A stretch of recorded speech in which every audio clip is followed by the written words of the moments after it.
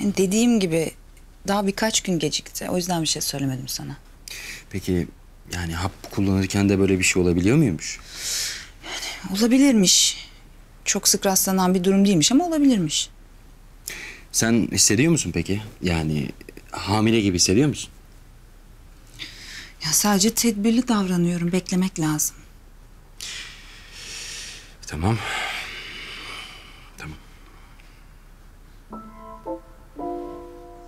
Zeynep. Ya böyle bir şey varsa? Hı? Yani ya hamileysen?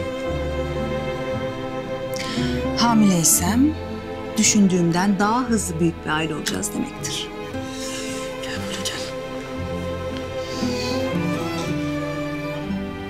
Bir çocuğumuz olsun istiyorum. Çocuklarımız. Yurttan bir çocuğun da ailemizden olmasını çok istiyorum Sinan. Bundan vazgeçmeyeceğim. Vazgeçmek mi? Yarın o kapıdan içeri birlikte gireceğiz. Hı?